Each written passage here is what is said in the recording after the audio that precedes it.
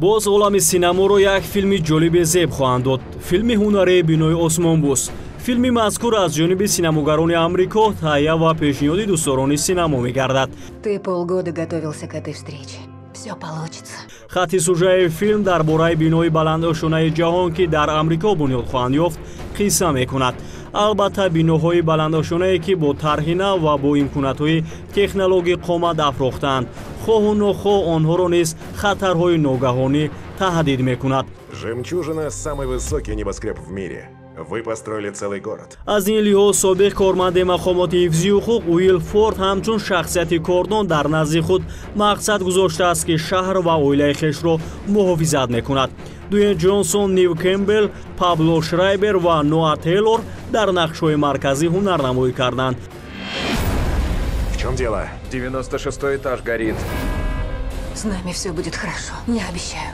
Коргардон ва муаллифи филм роусон маршал тёрбер мебошад филми мазкур дар жанри тахайюл моҷаро ва драма рӯи пардаи синамо омадааст Если мы хотим выбраться отсюда, ты должен рассказать мне правду. давомнокияш 103 дақиқа буда барои намоиш ба кинотолорҳои ҷаҳонӣ роҳ хат гирифтааст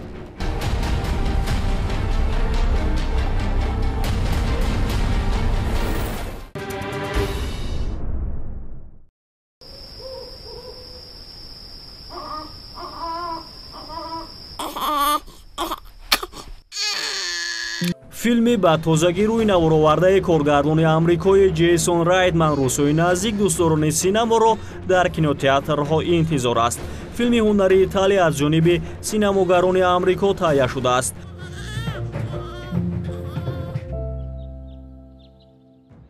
хати сужаи филм дар бораи модари серфарзанде қисса мекунад ки барои нигоҳубини фарзандони худ ҳамарӯза ба мушкилиҳои гуногун дучор меояд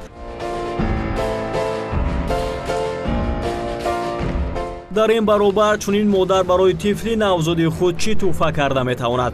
Масалан уребча аробача ё бозичаҳои зиёд.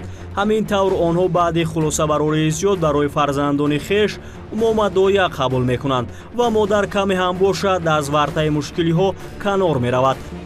Я пришла присмотреть за вами муаллифи филм диабло коуди буда. Шарлз терон ва маккензи девис дар нақшҳои марказӣ ҳунарнамоӣ намуданд. Жанр масака ва драма ба хай гирифта шуда. Давомнокияш 94 дақиқаро дар бар мегирад